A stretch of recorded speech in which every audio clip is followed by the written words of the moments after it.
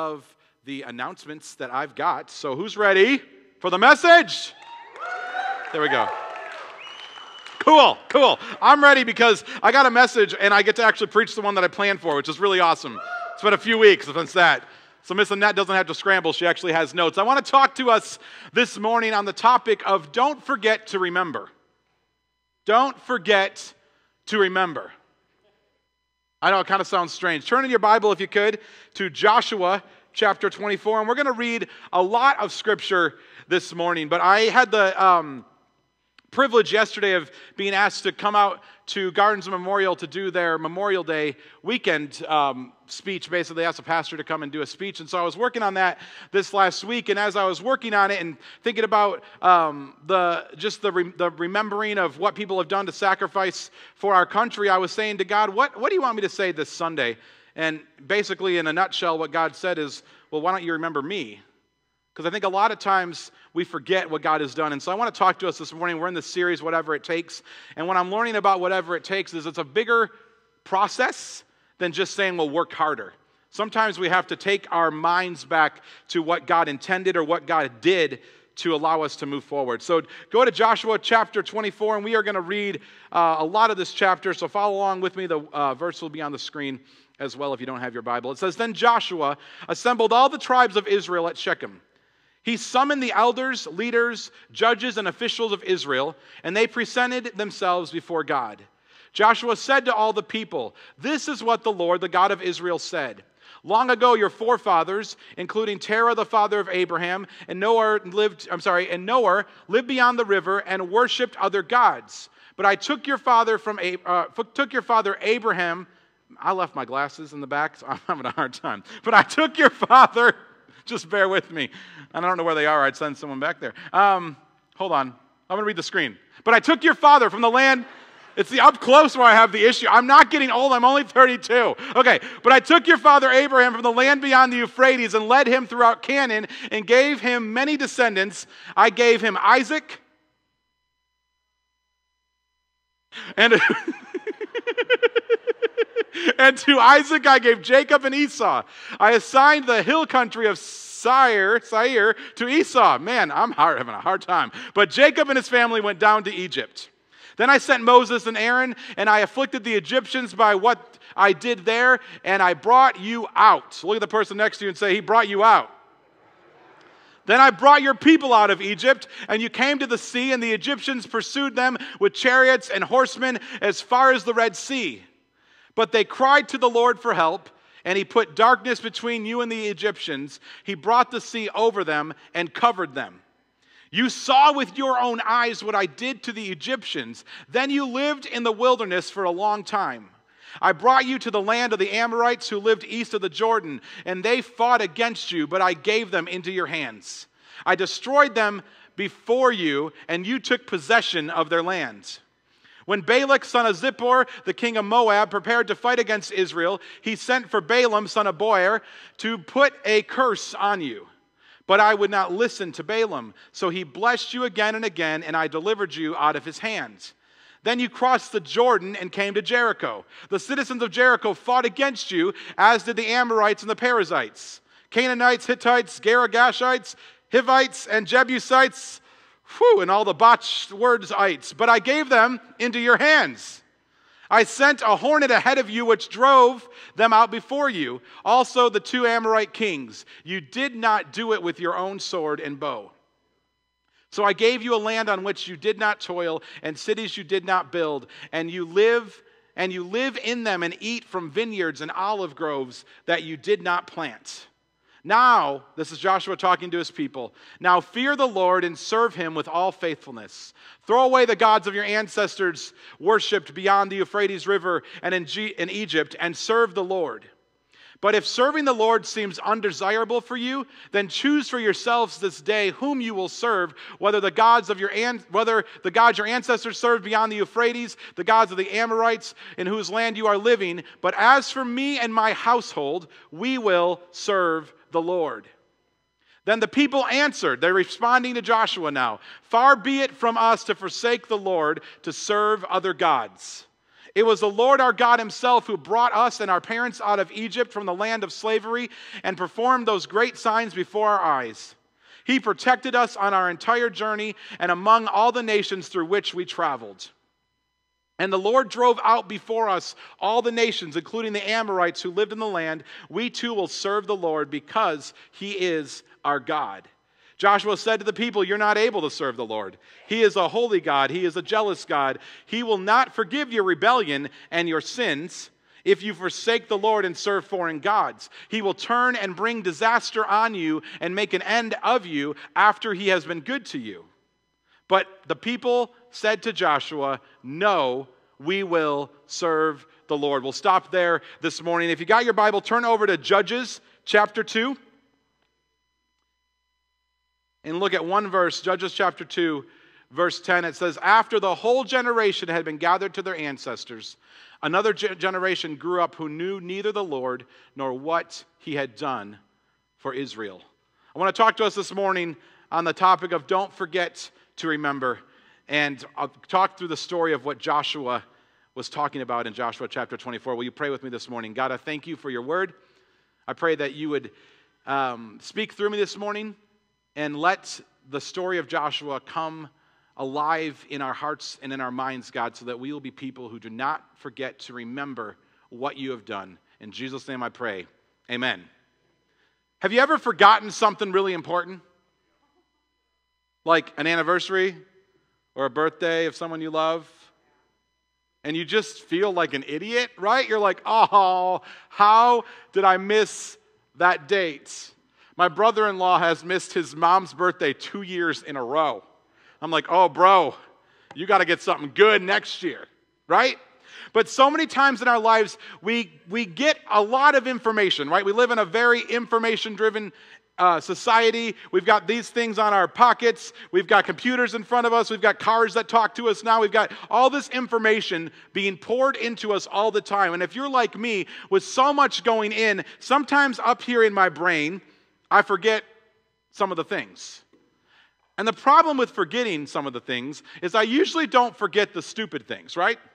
For some reason, I can name you some random fact about nothing, but I forget about the important things in my life. I forget to do the thing that my wife asked me to do that I know would value her so much if I did it because I'd rather lay on the couch and watch TV and not do a load of laundry, right?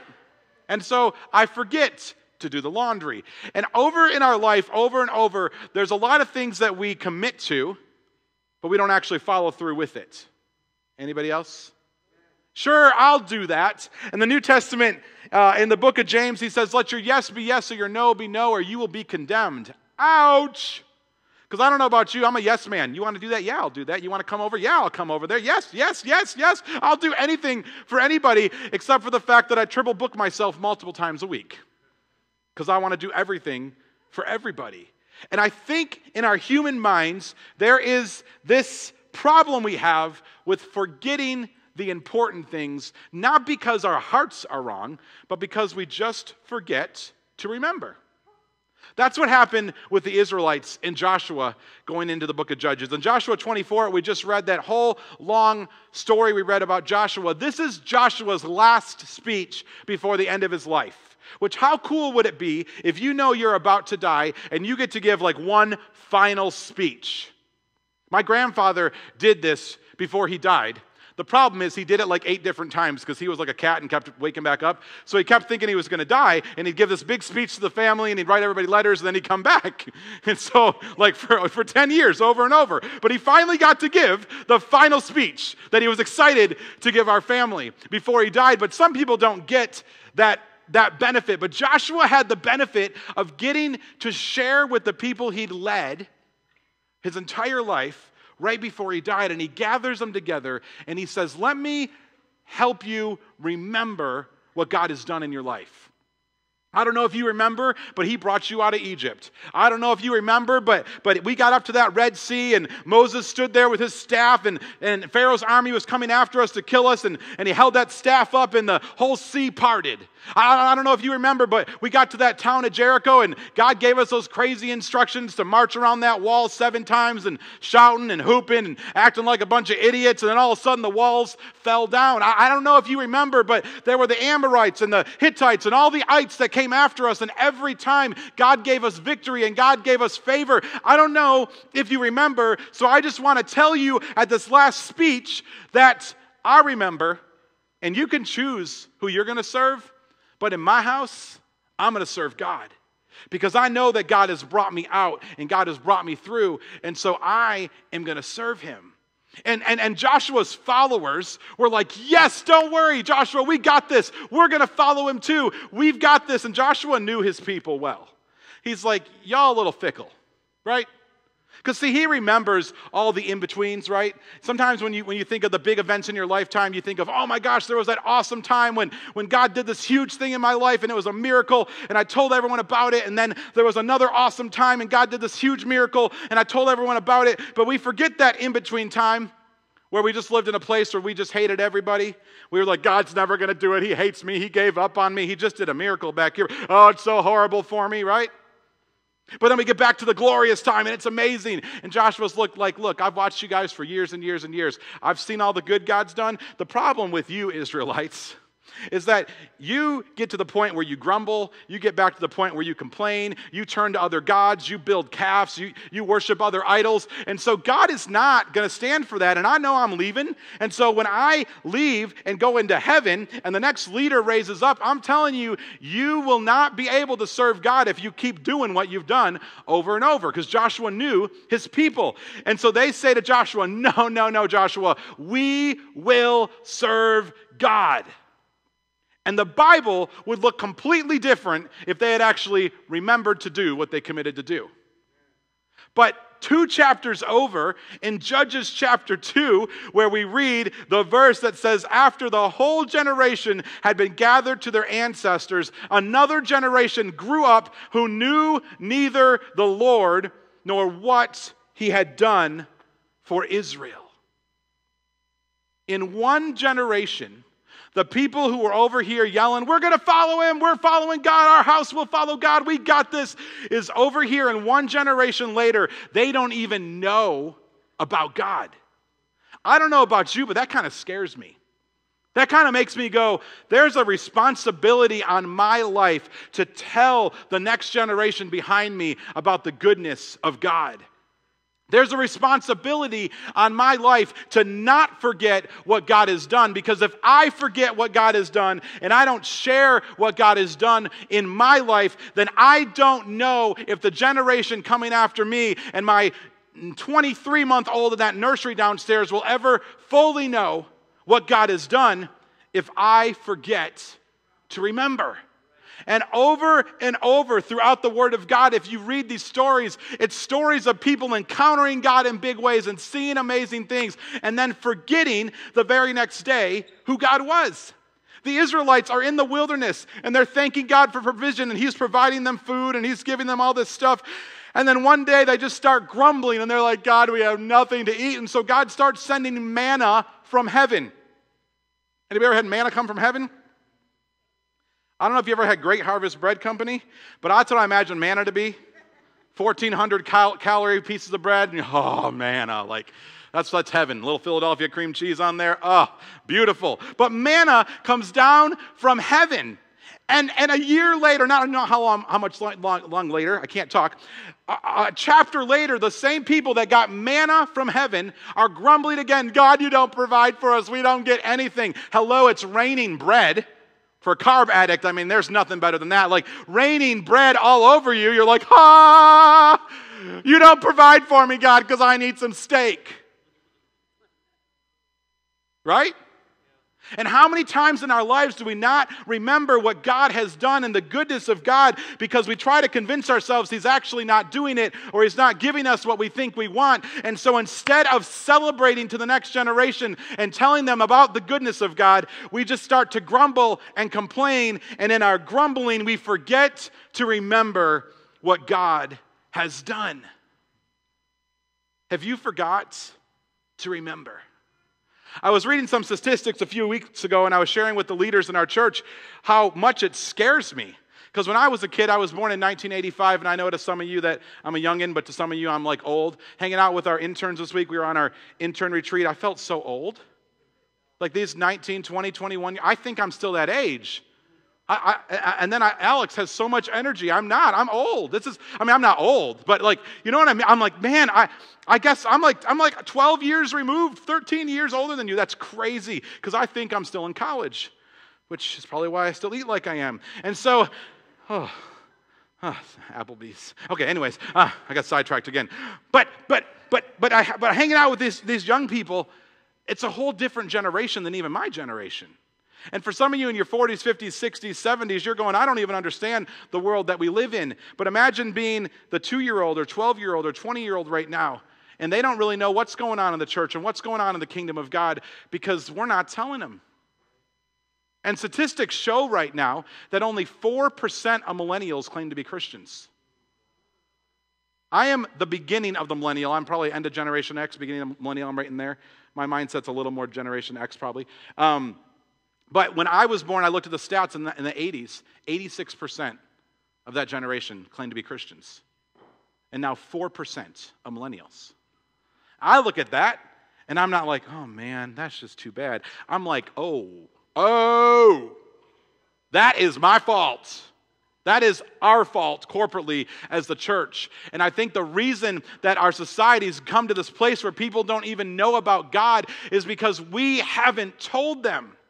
We've manufactured a Christianity that says you got to have more lights and you got to have more smoke and you got to make it more fun and it's got to be this big production. And they're not buying it. They're like, y'all are fake because no one's life is that exciting. No, I don't know about you, but I don't drive around with music in the background and smoke in my car when something good happens. It'd be so cool if I could, right? But that's not life. That's not reality. And they're seeing through it and they're going, I don't think I want what you have. And as a pastor, I read that stat and I was like, whoa, what happened? I think what happened is we forgot to remember. I think what happened is we stopped sharing our stories because we don't want to offend people or we don't want to tell people that Jesus is the only way because that's not trendy and we don't want to talk about it because then it might not make people feel real good. And the problem is we are feeling people real good into hell. Whoa. Right? We are not telling people about the gospel of Christ because we're so afraid that they won't get it or we don't understand them or whatever. And we're not allowing people to encounter the living Jesus of the universe that my parents encountered and changed my life. My parents were alcoholics and drug addicts. My parents were far from God. And some guy in a GM plant in Michigan, talked to my dad about a Bible, and my dad went from the bar on Wednesday night to a Bible study on Thursday night and got radically saved.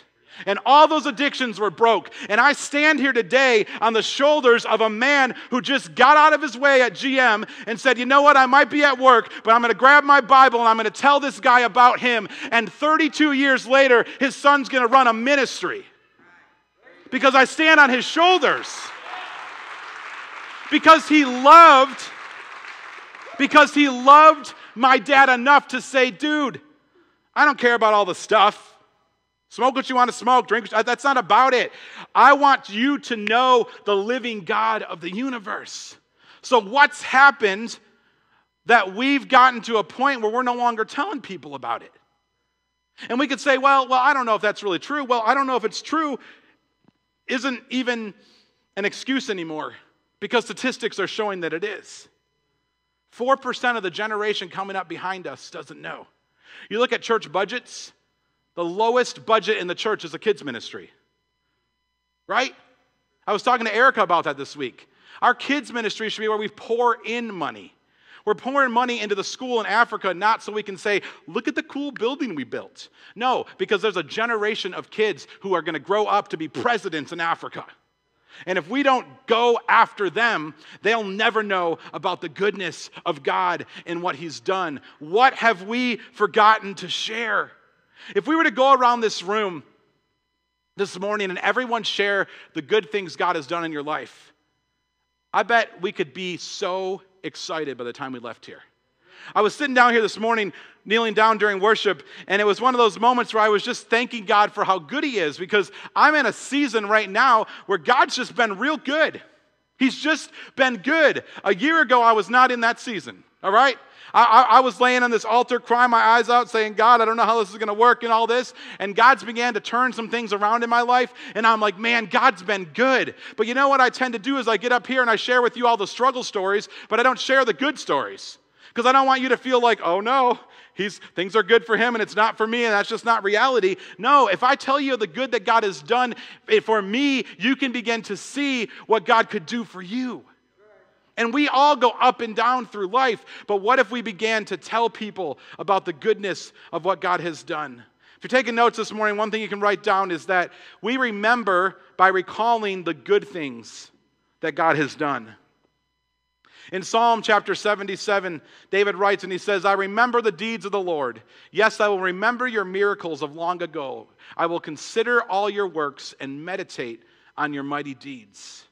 When's the last time you just sat down and wrote out the good things that God's done in your life? Just got a journal and just said, Man, God, thank you for providing for that need.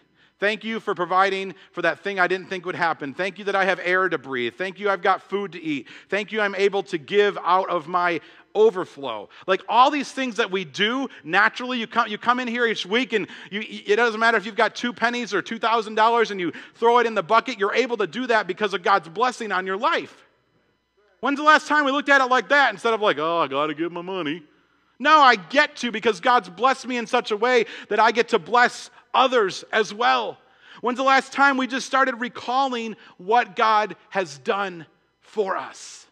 Because when I sit around and think about it, I look at my life and I go, how in the world am I the age I am and able to see the things I've been able to see? It doesn't make sense. This week, I was up in Michigan, and I've shared with you guys some stories of, of some of the hard times through the last year and having to close down a church that we started. And it was grueling, and it was not fun, and it's not things that I want to remember, honestly, except that you can learn from your failures to move forward, which is a whole other message. But, but, but I, was, I was up there, and we took the interns, and we showed them all the different spaces that we have Center for Successes. And it was kind of surreal for me because three years ago, it was just an idea. And now we're in five different cities up in Michigan. It doesn't make sense. But it's the goodness of God bringing people together, bringing people that want to fund it, bringing people that want to mentor kids, bringing directors together. And now there's this network that's impacting the next generation. And I look at it and, I, and I'm like, well, I don't want to tell people because I don't want to sound braggy. It's not about bragging on me. I didn't do anything, I just signed the checks. You know what I mean?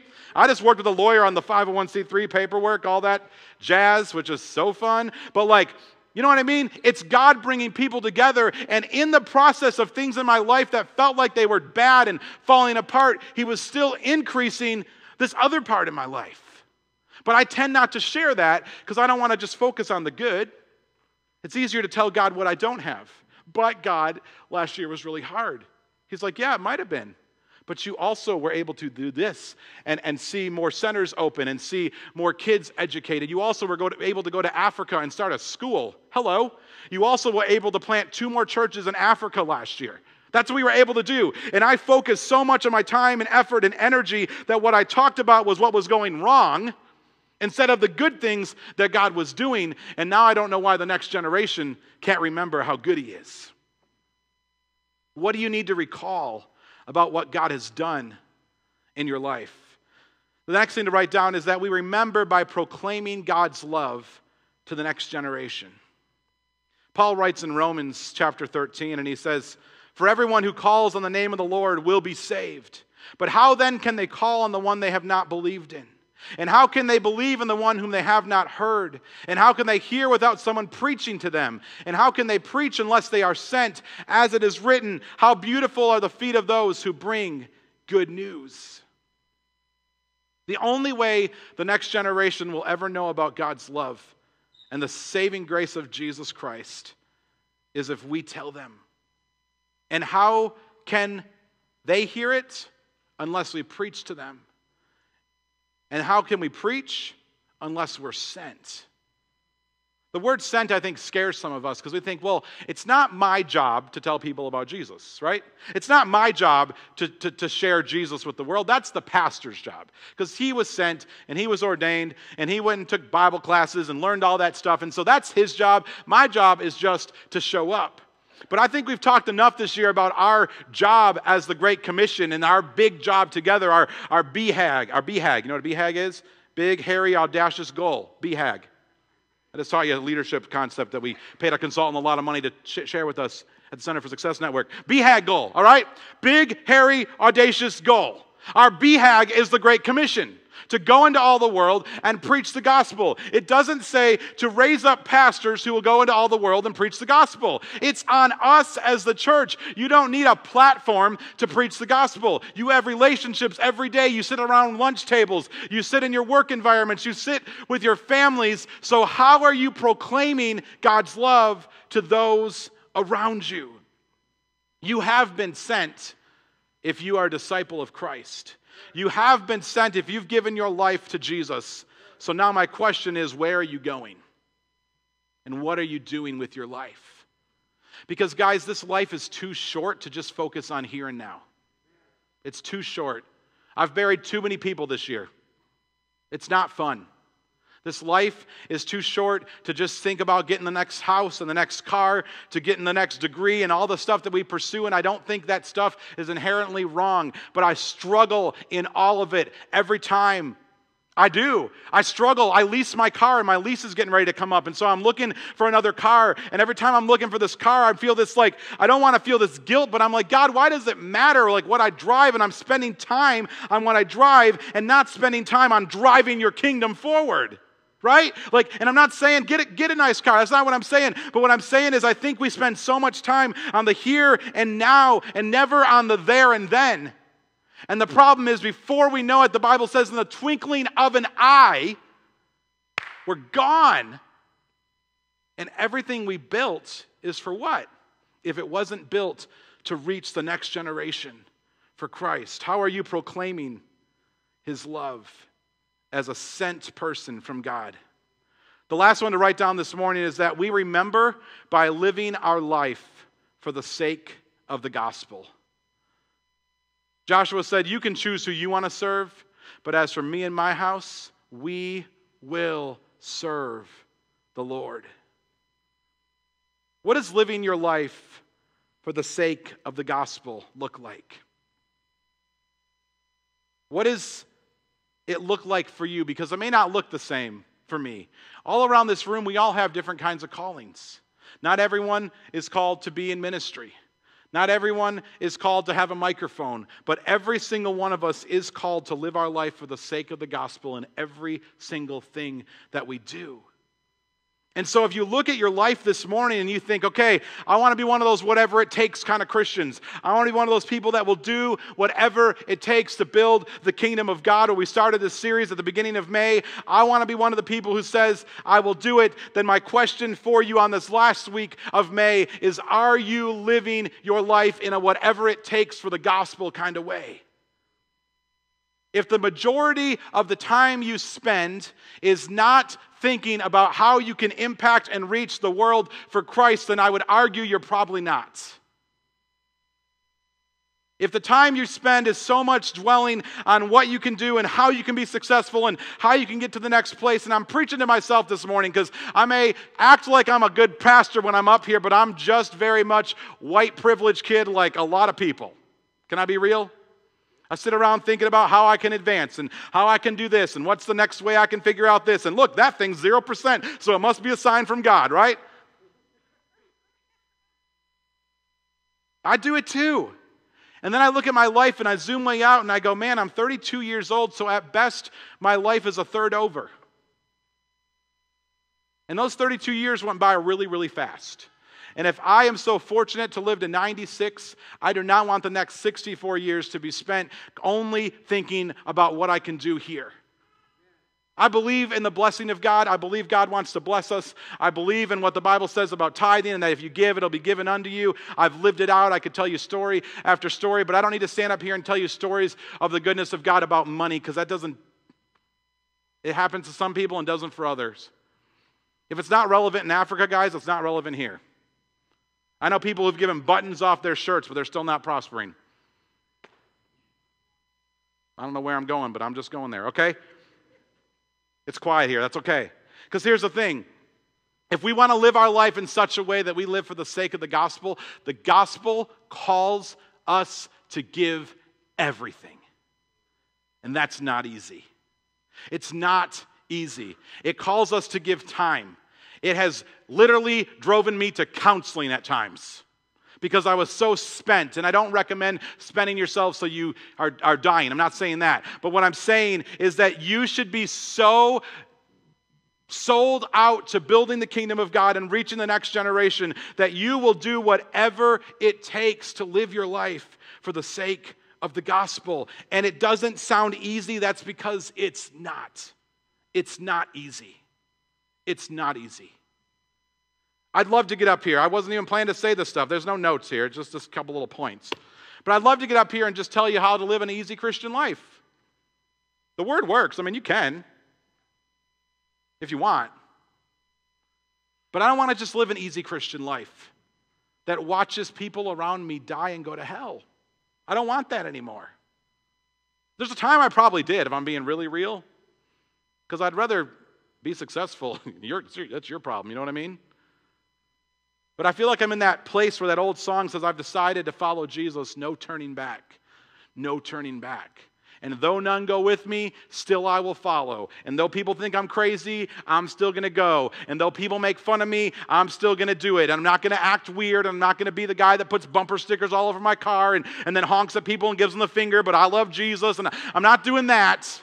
I'm not doing that, but I'm saying in every way that I live my life, am I sitting at a restaurant talking to a friend saying, Hey, can I tell you what God has done for my life and how He could do it for you? Or am I too ashamed because I don't want them to be offended? And in the process of not offending them, I'm forgetting to remember what God has done for me and now allowing them to watch Him do it for them. Will you live your life for the sake of the gospel? I want to invite you to bow your heads and close your eyes all over this room.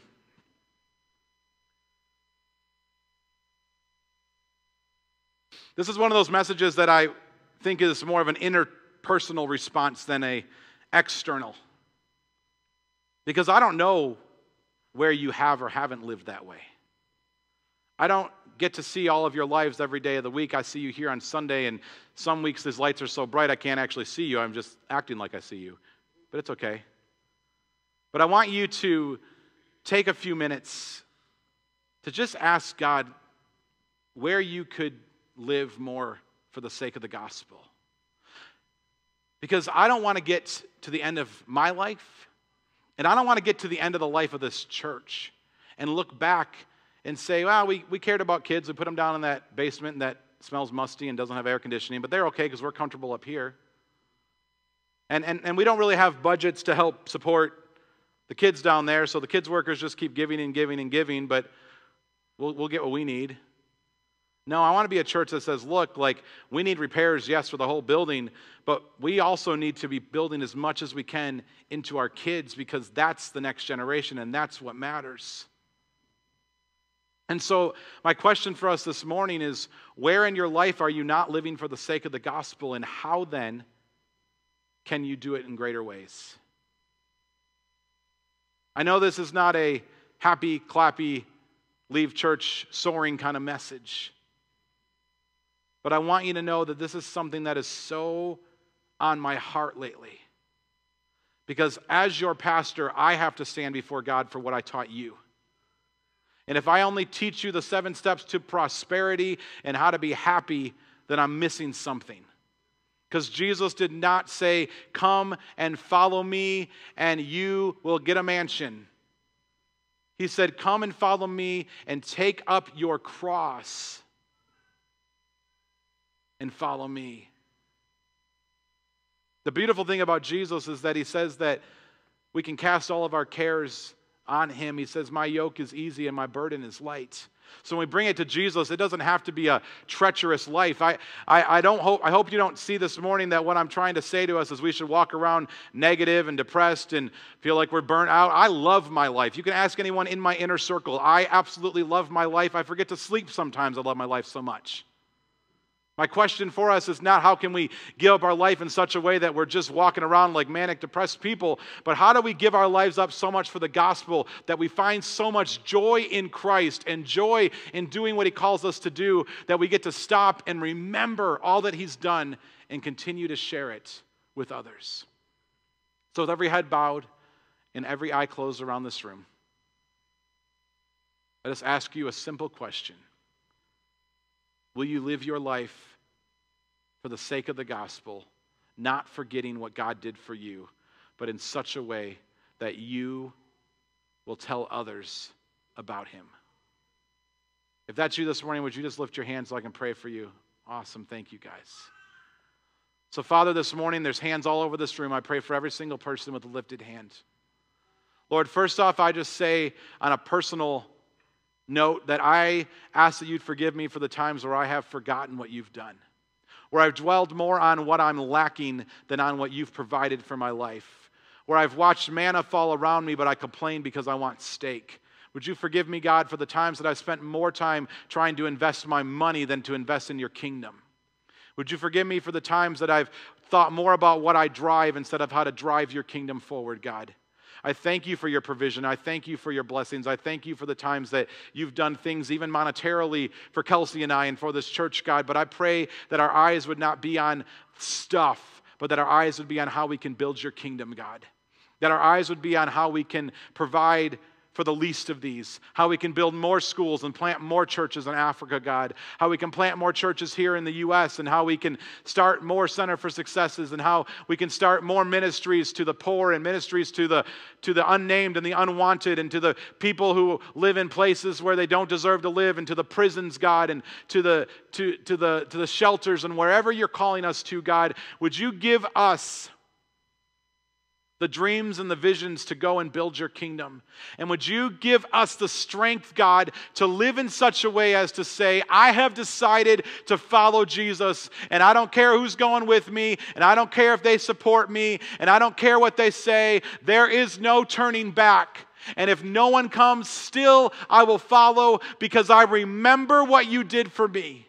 And I will live the rest of my life telling of what you did for me, saving my soul, saving my family's soul, setting my parents free from addictions and, and things that, that I've never had to experience because you did a work in their life, God. Would you let us live in such a way that says, no matter what else is going on in my life, no matter where I still need breakthrough, no matter where I still need to see you do things in my life, I have decided to follow Jesus and I am going to plow forward until I see See his kingdom come and His will be done here on earth as it is in heaven. I will not turn back, but I'll do whatever it takes to remember to live a life of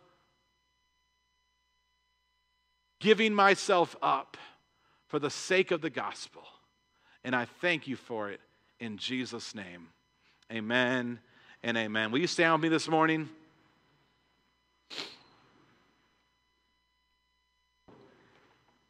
Thank you guys for being here this morning. Just want to challenge you. There was a ton of hands. You know why I love this church? Well, there's a lot of reasons I love this church, but you guys are so responsive. I've never worked with a group of people, honestly, that so much wants what God wants. So thank you for that. And thank you for being a church that says we're not going to turn back and let's go and make a difference in our community. If it's your first time here this morning, we would love to see you back at our Connect desk and hear more about our church. Also, if you want to become a partner, you can meet us back in the cafe. If you need prayer for anything in your life, our prayer partners will be down here in front. They would love to pray with you about anything in your life, or maybe you want to make a commitment to following Jesus for the first time or the millionth time, it doesn't matter. Come pray with one of them. And then before we go, Let's confess the blessing over ourselves and our week. And I truly believe this because that's building God's kingdom. Our best days ahead is seeing God's kingdom built here on earth. So let's say this together that my best and most blessed days are ahead of me. Love you guys. Hope to see you back next week.